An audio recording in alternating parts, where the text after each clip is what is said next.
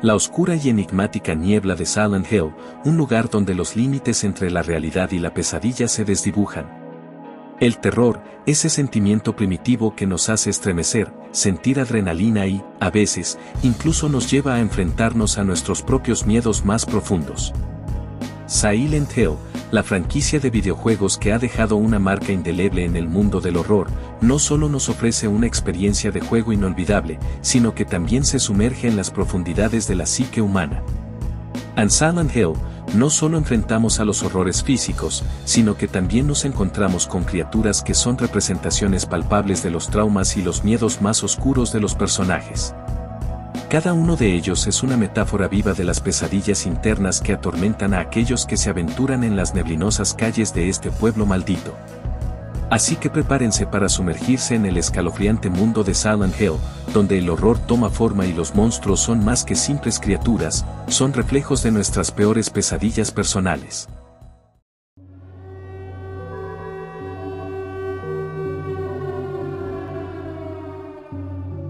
En Silent Hill, Shattered Memories, una nueva y escalofriante amenaza emerge en forma de los Rorschachs, criaturas que añaden una capa adicional de horror a la experiencia del jugador.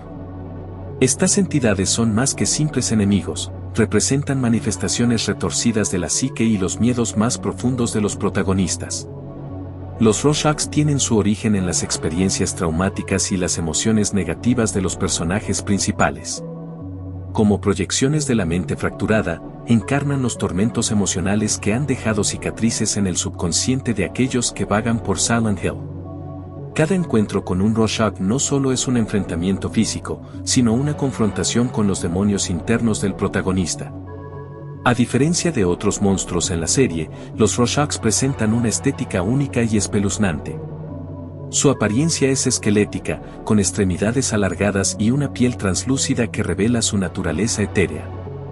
Estas criaturas se deslizan sigilosamente por el entorno, creando una sensación de vulnerabilidad y suspense para el jugador.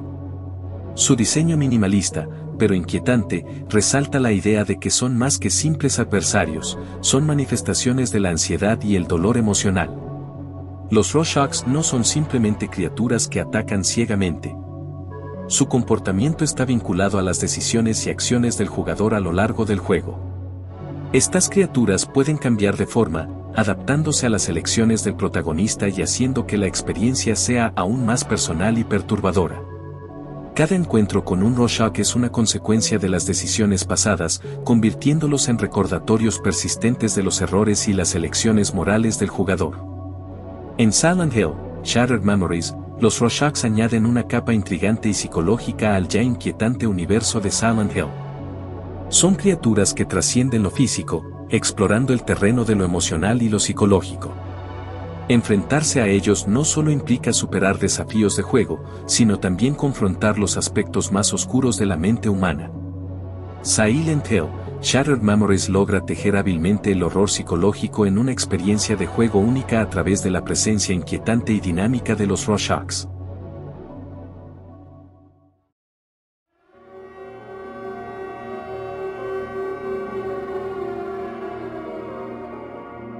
En Silent Hill 3, una figura enigmática y misteriosa conocida como Baltiel se alza como una presencia inquietante, dotando al juego de una atmósfera aún más intensa. Baltiel no es un monstruo común, su papel es más sutil pero igualmente impactante en la narrativa y la experiencia del jugador. Baltiel, en esencia, sirve como un custodio de Silent Hill, observando y manipulando los eventos desde las sombras. Su apariencia es única y perturbadora, un ser humanoide con múltiples brazos y una aparente conexión con la iconografía religiosa presente en la serie. Su presencia sugiere una influencia divina o sobrenatural en los oscuros acontecimientos que rodean a la protagonista, Heather. A lo largo del juego, Baltiel se presenta como un espectador silencioso pero siempre presente. A menudo, se le ve realizando rituales misteriosos, como ajustar o arreglar figuras maniquíes. Estas acciones, aparentemente triviales, añaden una capa de simbolismo y misterio a la trama, dejando a los jugadores con la intriga de su propósito y naturaleza. Baltiel también está vinculado a la secta religiosa del juego, lo que refuerza la conexión entre lo sobrenatural y lo religioso en Silent Hill. Su presencia está intrínsecamente relacionada con los elementos psicológicos y esotéricos que definen el horror en la serie. Rara vez es un enemigo directo, su papel como observador y manipulador detrás de las cortinas contribuye significativamente a la atmósfera de ansiedad y desconcierto que Silent Hill 3 logra también. En lugar de ser simplemente una amenaza física, Baltiel representa la presión psicológica y espiritual que Silent Hill ejerce sobre los personajes y, por extensión, sobre los jugadores. Su enigma y su presencia constante añaden un toque único y perturbador a la rica mitología de Silent Hill 3.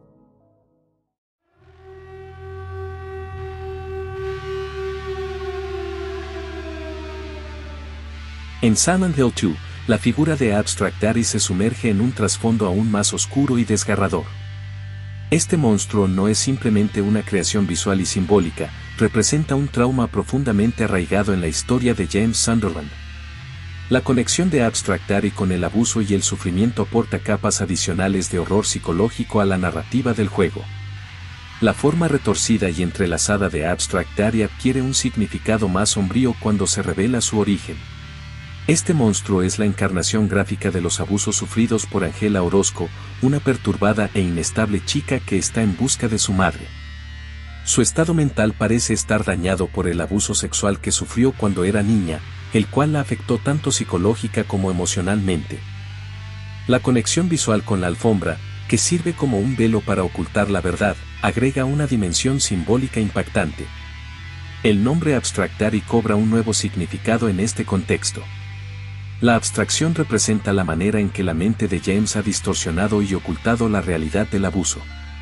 La carga emocional y psicológica de este trauma se manifiesta de manera tangible en Silent Hill, desgarrando la barrera entre lo consciente y lo reprimido. El encuentro con Abstractare se convierte así en un enfrentamiento con los demonios internos de James, con el monstruo actuando como una proyección física de la culpa y el remordimiento que lo persiguen. La imagen retorcida de Abstract Daddy no solo simboliza el abuso en sí, sino también la manera en que el subconsciente de James ha deformado la realidad para sobrellevar el peso de su propia responsabilidad. Silent Hill 2, a través de la figura de Abstract Daddy, explora de manera valiente y desgarradora los aspectos más oscuros de la psique humana. El juego nos sumerge en un viaje angustiante donde los monstruos son mucho más que meras criaturas, son representaciones visuales y emotivas de los traumas más profundos, desafiando al jugador a confrontar la realidad y las sombras que yacen debajo de la superficie de la conciencia.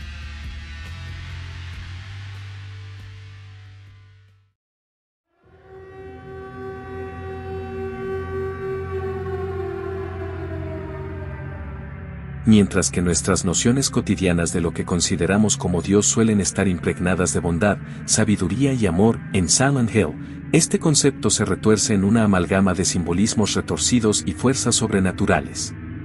La figura de Dios en este juego sirve como un espejo deformado de nuestras creencias tradicionales. En lugar de ser una entidad benevolente, nos enfrentamos a una criatura desfigurada que refleja los miedos más oscuros y las creencias distorsionadas de la secta religiosa de Silent Hill. Es una manifestación grotesca de la espiritualidad corrompida y la venganza desenfrenada. Este enfoque retórico nos invita a cuestionar las nociones tradicionales de lo divino y a explorar cómo el horror psicológico puede distorsionar nuestras percepciones más fundamentales.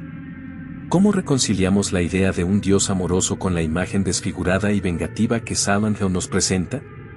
A medida que nos sumergimos en la trama, la sinergia entre lo sagrado y lo profano se torna borrosa y enfrentamos la desconcertante realidad de que, en este Silent Hill, lo divino puede adoptar formas inesperadas y desafiar nuestras preconcepciones.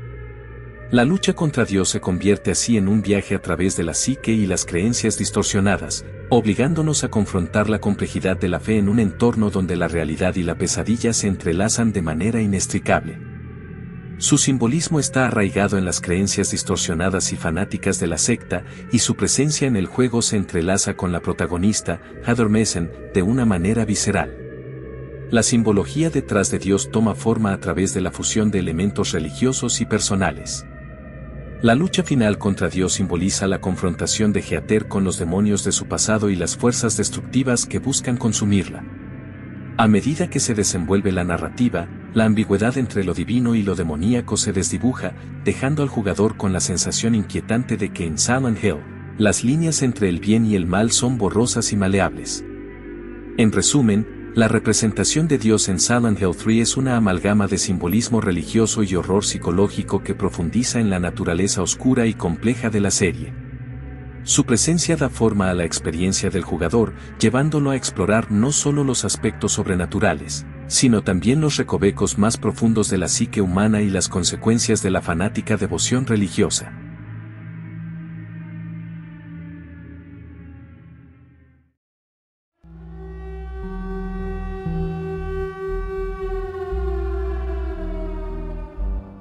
La figura de Wellman surge como una manifestación única y significativa en el ya oscuro y enigmático universo de Silent Hill. A diferencia de otras criaturas, Wellman encarna una dualidad intrigante, representando tanto la persecución implacable como la oportunidad de redención para el protagonista, Murphy Pendleton. La apariencia física de Wellman es única y fácilmente identificable. Un maniquí con una rueda en lugar de piernas, Wellman se desliza por Silent Hill de manera inquietante, persiguiendo a Murphy con una tenacidad inigualable. Su presencia constante agrega una capa adicional de suspense a la experiencia del jugador, ya que nunca se sabe cuándo este enigmático perseguidor hará su aparición.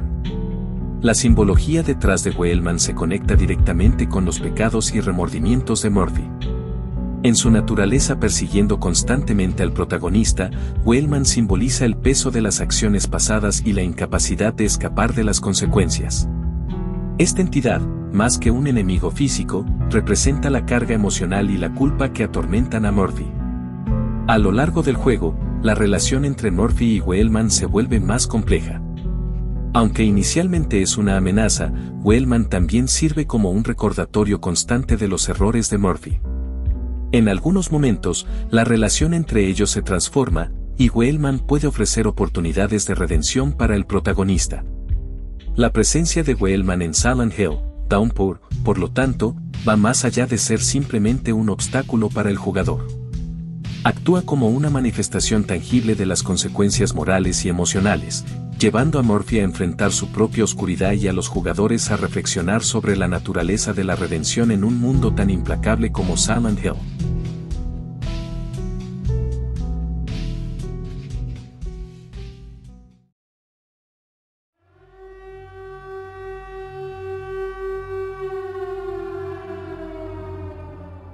En Silent Hill, Homecoming, la criatura conocida como asfixia emerge como un símbolo vívido del horror y la agonía que permea el oscuro mundo de Silent Hill. Su presencia única y su diseño grotesco contribuyen a la atmósfera aterradora del juego, mientras que su origen está entrelazado con los oscuros secretos que acechan al protagonista, Alex Shepard. Asfixia, en su forma física, es una amalgama retorcida de cuerpos humanos, fusionados de manera grotesca en una entidad deformada. Su apariencia representa una distorsión macabra de la feminidad, con sus múltiples extremidades y cabezas que crean una imagen perturbadora y surrealista. Esta criatura se convierte en una manifestación visual de las complejidades psicológicas y emocionales que atormentan a Alex. El origen de Asfixia se conecta directamente con la tragedia que envuelve a Silent Hill, la pérdida y la culpa. Se revela que Asfixia es una representación de su madre, Lillian Shepard, cuya muerte y los eventos relacionados con ella desencadenan gran parte de la trama del juego. La distorsión física de Asfixia refleja la tortura emocional que Lillian experimentó y la angustia que afecta a Alex en su búsqueda de respuestas. El encuentro con Asfixia no es solo un enfrentamiento físico, sino también un enfrentamiento emocional para Alex. La criatura encarna la culpa que lo atormenta y actúa como un recordatorio constante de los eventos trágicos que llevaron a la desintegración de su familia. En el enfrentamiento con Asfixia, Alex se ve obligado a confrontar no solo a un monstruo físico, sino también a sus propios demonios internos y las consecuencias de sus decisiones. La presencia de Asfixia en Silent Hill, Homecoming contribuye a la narrativa compleja del juego, tejiendo elementos psicológicos y emocionales en la experiencia del jugador. La criatura, en su grotesca forma, se convierte en un testigo silencioso de la tragedia que ha asolado Silent Hill, llevando a los jugadores a explorar no solo los horrores físicos del lugar, sino también los horrores más profundos y personales que yacen en la psique de los personajes.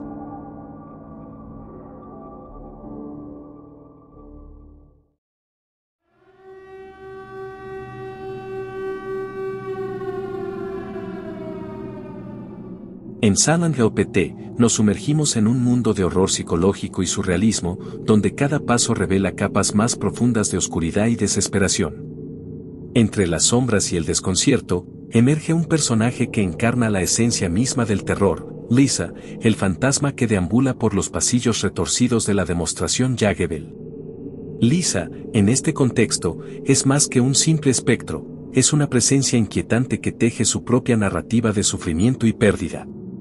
Su figura, aunque etérea, se manifiesta de manera tangible a medida que avanzamos por los corredores claustrofóbicos, haciendo eco de sus susurros y lamentos en la penumbra. El origen de Lisa en Pete está envuelto en misterio, pero su presencia lleva consigo una carga emocional abrumadora.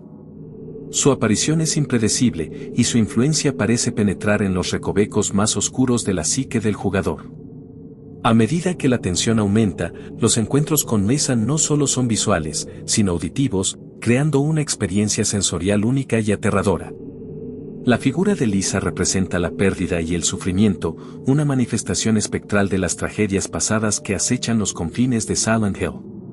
A través de su presencia, Pete nos invita a explorar los límites de la cordura y enfrentar los horrores que residen en las profundidades de nuestra propia psique. Silent Hill no solo desafía nuestras expectativas de horror, sino que utiliza a Lisa como un catalizador para sumergirnos en la desconcertante intersección entre lo sobrenatural y lo psicológico. Su fantasma, atrapado en un ciclo de sufrimiento, se convierte en un elemento clave que impulsa la narrativa del juego, dejando a los jugadores con la inquietante sensación de que, en Silent Hill, los fantasmas son más que simples espectros, son testigos de los tormentos que acechan en las sombras de la mente humana.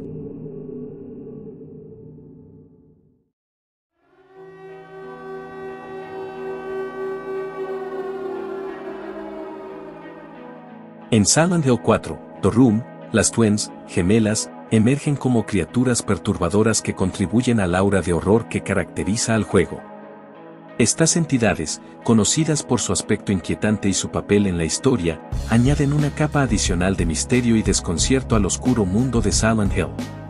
Las Twins son representaciones físicas de las hermanas siamesas, Cynthia Velasquez y Nina Galen, que fueron asesinadas por Walter Sullivan, el antagonista central del juego. Su aspecto físico es grotesco, con cuerpos fusionados y extremidades retorcidas que sugieren una existencia atrapada entre la vida y la muerte. Esta representación visual intensifica la sensación de horror psicológico que caracteriza a Silent Hill 4. La presencia de las Twins está estrechamente vinculada a la trama de Walter y sus rituales oscuros. A lo largo del juego, el protagonista, Henry Townsend, se encuentra con estas criaturas en el apartamento 302, y su relación con Walter se vuelve cada vez más evidente. Las Twins actúan como guardianes en el camino hacia la comprensión de los oscuros secretos que envuelven a Walter y el misterioso apartamento. El encuentro con las Twins no solo es visualmente inquietante, sino que también está acompañado de una atmósfera auditiva opresiva. Los gemidos y lamentos que emiten intensifican la sensación de desconcierto y desesperación, contribuyendo al terror psicológico que permea el juego. A medida que Henry desentraña los secretos del apartamento 302 y la conexión con Walter, las Twins se convierten en representaciones simbólicas de la tragedia y la obsesión que han sumido a Silent Hill en la oscuridad. Su papel en el juego no solo añade complejidad a la trama, sino que también refuerza la idea de que los horrores que enfrentamos en Silent Hill son reflejos tangibles de las consecuencias de los actos más oscuros de la humanidad. Y así concluimos nuestro recorrido a través del aterrador universo de Silent Hill, explorando algunos de sus monstruos más icónicos y perturbadores. En este top, no hemos buscado clasificarlos de peor a mejor, ya que cada uno de ellos encierra una historia única de horror y sufrimiento. Es crucial recordar que muchos de los monstruos más comunes en Silent Hill, aquellos que nos acechan en las sombras de manera constante, son igualmente terroríficos. Desde las criaturas más grotescas hasta las manifestaciones de traumas personales, Silent Hill nos sumerge en un abismo de oscuridad donde el miedo toma formas inimaginables.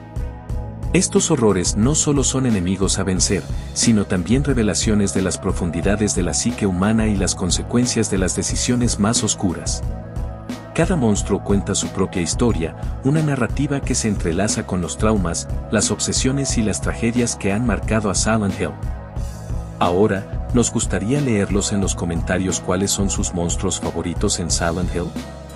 ¿Hay alguno que los haya dejado sin aliento o que aún ronde en sus pesadillas? Déjanos saber tu opinión en los comentarios. Nos encantaría escuchar sus experiencias y teorías sobre este aterrador universo. Si disfrutaste de este recorrido por el terror de Silent Hill, no olvides suscribirte para más contenido escalofriante y seguir explorando los rincones más oscuros del mundo de los videojuegos. Hasta la próxima, valientes exploradores de lo desconocido. Nos vemos en las sombras.